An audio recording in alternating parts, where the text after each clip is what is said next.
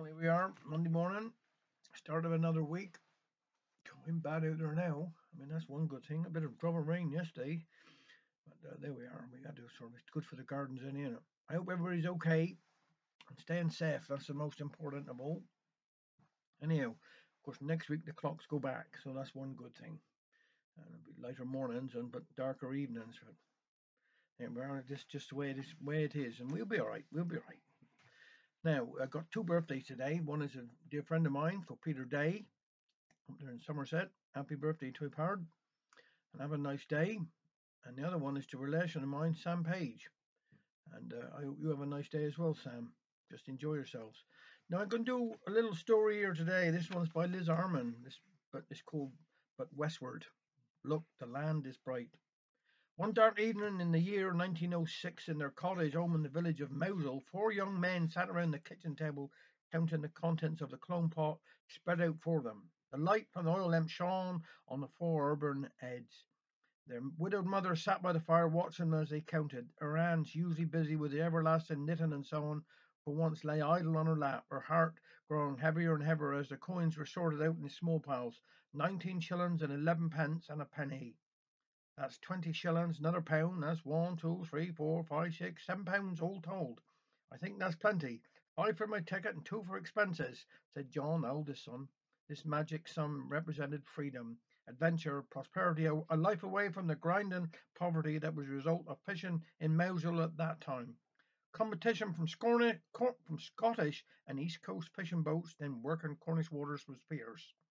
These larger boats, sailing seven days a week, could travel further in the search for fish and would glut the early weekend weekday markets, getting the best prices.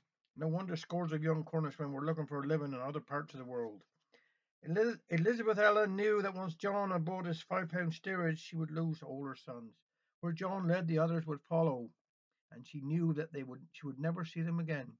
Seeing her sad face in the firelight, John took her hands in his and said, Don't worry, Ma. When I've met enough, I'll be back. I'll always look after you. It won't be forever. His mother knew differently. She already had one son who had left Mousehole, Harry, named for his dead father, had joined the Royal Navy and was now with a ship in the Far East and Chinese waters. He was not likely to be back for at least five years. He was a poor correspondent. His letters were few and far between, although he had managed to send home a length of silk from Shanghai for his sister Liz's wedding dress. Unfortunately, he chose to send to a highly superstitious fishing family, which was considered poor luck, green. Eventually, the time came when Elizabeth Allen had to accept the inevitable, and so she waved a tearful farewell to her son John as he left Mousehole, riding on the back of a cart, his few belongings in his father's old sea bag, on his way to Liverpool, and from there to a brave new world 3,000 miles away. After a nightmare voyage packed with other emigrants like cattle in the bowels of the ship, with no privacy and precious little food, John landed in America. There was no luxurious for five pound steerage passengers passing through immigration at Ellis Island. He found the crowd, noise, and abrasive immigration authorities so overwhelming that he was glad to join up with a family heading for Detroit, Michigan, a city where so many Cornish had already settled. Michigan was to be his home for the rest of his life. There in Detroit, Mr. Ford had established his factories for the manufacture of the newfangled automobiles, and it was there that John exchanged his fisherman's life for hard and fast boring production line job. Being strong and willing and used to work hard, he was soon marked for promotion. This meant money, regular and more plentiful than he had ever known. Soon he was sending home money regular for, to his mother, with a little bit extra for the clome pot, in which Thomas, Ernest, and Edgar were putting every penny they could to scrape together for their tickets to fortune. The following year, 1907, Thomas made his way to the shipping agents in Penzance. In 1908, Ernest followed, and finally, in 1909, saw Edgar making his way across the ocean to join his brothers. For Elizabeth Allen, four farewells, four heartbreaks. All three brothers followed John to Michigan, but Edgar soon decided to seek his fortune in the West, in California. Not for him the monotony of factory life. For a time he tried gold mining, but he certainly didn't strike it rich and when an opening came in a mine supply store, he took it.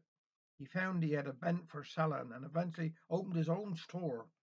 Of the four bachelors, three were quickly snapped up. Ernest, Thomas, and Edgar all met and married brides of Cornish descent. They were sure of their heavy cake and pasties. All three were to have large families, but John remained a bachelor until his mother died in 1916. He kept his promise that he would support her and sent money home every month, but he found that even in the land of plenty he couldn't manage to support both a wife and mother. The four brothers flourished in America.